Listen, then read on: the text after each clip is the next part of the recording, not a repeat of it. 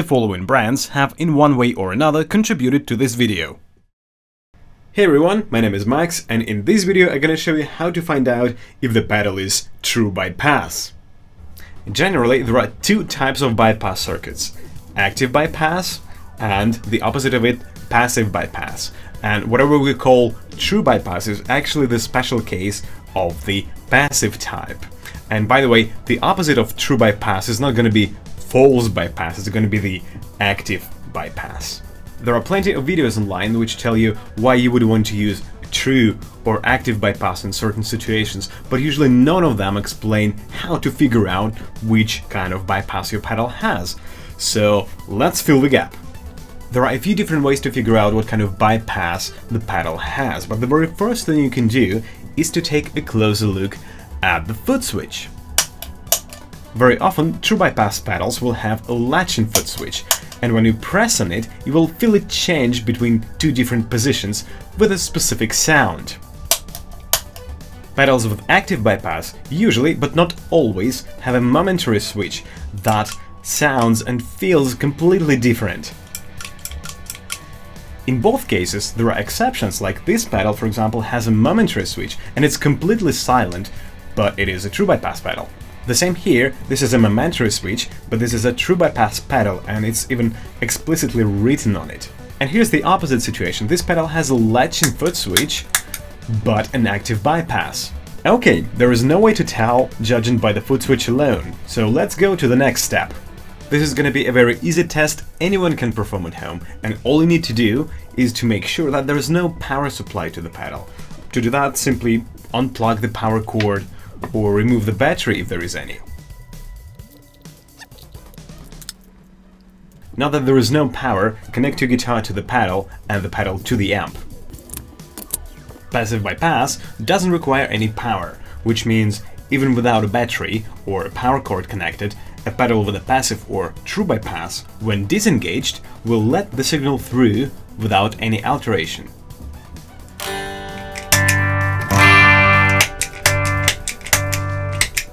On the other side, if there is no sound coming out of your speaker, no matter how many times you press the foot switch, you can definitely tell that the pedal has an active bypass, just like this one. So using this method you can rule out pedals with an active bypass, but when it comes to the passive type, it gets a little bit tricky because this method will not be able to tell you if it is actually a true bypass, only that it is a passive type.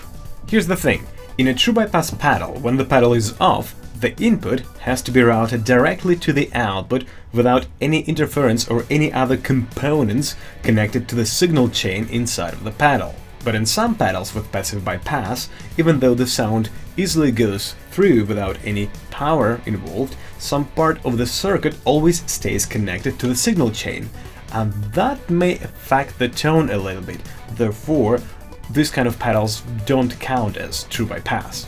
For example, in this pedal, the cabinet simulation section always stays connected to the signal chain, and a little bit later in this video I'll show you the difference in measurements between this pedal and a true bypass pedal.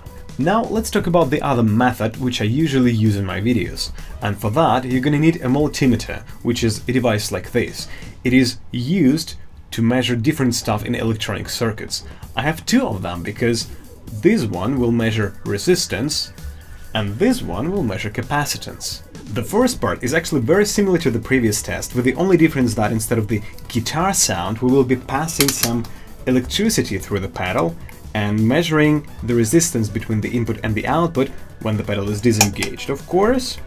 And if it is zero, or close to zero as it is right now, or in other words, the signal simply passes through the pedal, that means the pedal has a passive bypass, possibly a true bypass. Otherwise, it is an active or buffered bypass. Okay, that's zero, very good. The other thing you want to measure is the resistance between the tip and the ground. And if there is absolutely no signal passing through, as it is right now, that would be a good sign that this is a true bypass pedal. And here's the pedal I've mentioned earlier. Even though it has a passive bypass, there is something going on between the tip and the ground as you can see, so it is not a true bypass pedal. And finally, to prove our expectations, I will measure the capacitance, again between the tip and the ground of the output when the pedal is disengaged. There will be some capacitance, but it shouldn't be higher than just a few picofarad.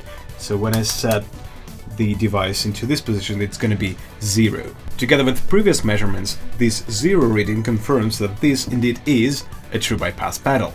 With an active or buffered bypass, you're not to get zero reading here.